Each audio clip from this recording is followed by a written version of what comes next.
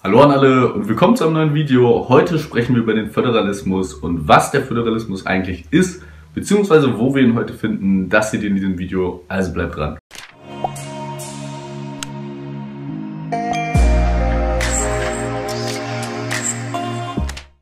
Das Wort Föderalismus stammt vom lateinischen Wort födus und bedeutet so viel wie Vertrag oder Bündnis.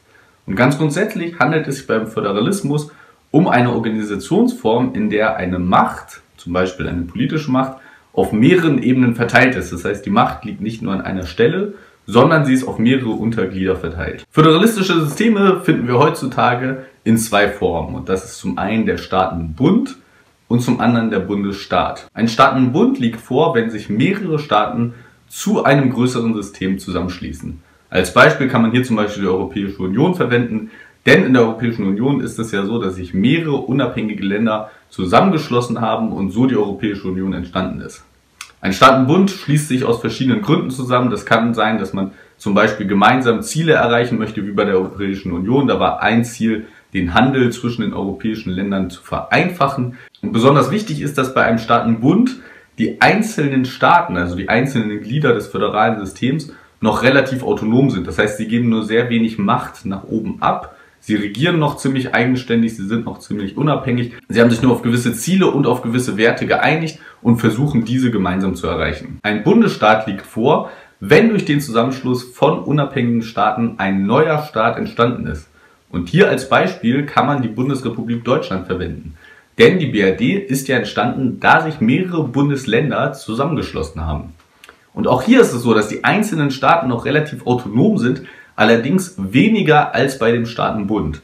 Und hier kann ich euch als Beispiel das Bundesland Hessen geben, denn Hessen hatte bis letzten Jahres noch die Todesstrafe in der Verfassung stehen.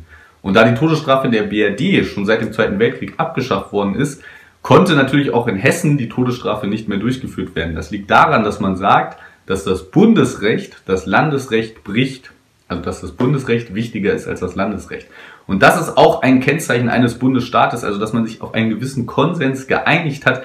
Die einzelnen Bundesländer zum Beispiel sind zwar relativ autonom, man hat sich aber auf gewisse Werte geeinigt und die Gesetze widersprechen einander auch nicht. Also die Landesgesetze, wie zum Beispiel in dem Fall das Bundesland Hessen, widerspricht nicht dem Bundesgesetz. Also das Bundesgesetz ist in dem Fall wichtiger. Und das ist ein ganz wichtiges Kennzeichen eines Bundesstaates, dass man gemeinsame Werte hat, gemeinsame Ziele hat. Ähnlich wie beim Staatenbund allerdings sind beim Bundesstaat die einzelnen Glieder weniger autonom und das Ganze hängt mehr zusammen in einem großen System.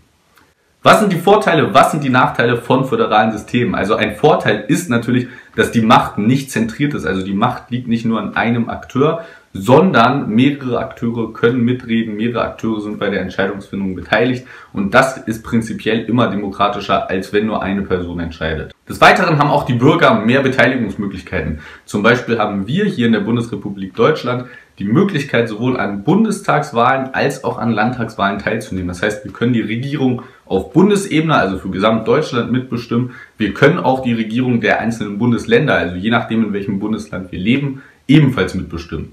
Das bedeutet in einem föderalen System, das ist ebenfalls ein Vorteil, hat der Bürger mehr Teilhaberecht. Und dann ist es so, dass die Staaten auch ihre Eigenständigkeit bzw. ihre Kultur in einem föderalen System sehr gut behalten können. Und hier kann ich euch als Beispiel das Bundesland Bayern geben. Bayern ist ja in politischer und auch in kultureller Hinsicht teilweise noch sehr unterschiedlich vom Rest der BRD bzw. von anderen Bundesländern. Und auch das ist etwas, was nur in einem föderalen System möglich ist, denn das föderale System gewährt diese Eigenständigkeit den einzelnen Mitgliedern. Und ob das jetzt wirklich ein Nachteil ist oder eher eine Gefahr für das föderale System selbst, das könnt ihr selber entscheiden, denn diese Eigenständigkeit birgt natürlich auch die Gefahr, dass bei Unzufriedenheit das gesamte föderale System in Frage gestellt wird. Und das sehen wir aktuell in der Europäischen Union, zum Beispiel beim Brexit, wo Großbritannien jetzt wahrscheinlich aus der EU austreten wird und auch andere Länder die gesamte Union hinterfragen. Und das hängt natürlich auch damit zusammen, dass die einzelnen Staaten natürlich eine gewisse Eigenständigkeit behalten haben und dann diese Eigenständigkeit auch nutzen können, um zum Beispiel das föderale System wieder zu verlassen. Also wie gesagt, ist das wirklich ein Nachteil? Das ist so die Frage. Es ist auf jeden Fall eine Gefahr für das föderale System selbst, dass diese Eigenständigkeit auch gegen das System verwendet werden kann, beziehungsweise auch einfach dazu führen kann, dass das System wieder aufgelöst wird. Ja, das war ein kleiner Einblick in den Föderalismus. Ich hoffe, es hat euch gefallen. Hier gibt's jeden Sonntag neue Videos Schaut auch mal auf den Kanal von Lati. Ich verlinke euch das in der Videobeschreibung. Der macht auch sehr coole Wissensvideos. Und ansonsten bedanke ich mich fürs Einschalten und wir sehen uns im nächsten Video. Macht's gut.